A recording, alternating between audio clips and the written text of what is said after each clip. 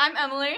And we are here vlogging for UNW Dance Theater, UNWDT, for our upcoming dance concert performance, everything that has breath. Woo woo! We're about to start rehearsal. Tonight we're working on two of our pieces. The first one being a jazz piece, and the second one, um, our two student choreographers are actually working on their individual pieces, and you'll get to hear more from them later in another vlog.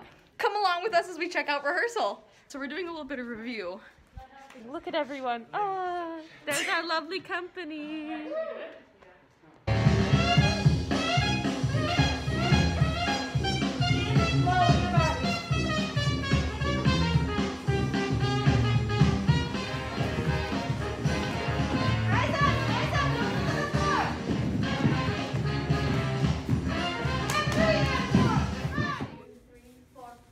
and six. And then you're gonna have um, seven and